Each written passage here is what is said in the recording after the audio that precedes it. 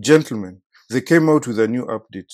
You can now change races apparently. to be a white woman, an unsuccessful one, uh, for many decades, and it was a miserable experience.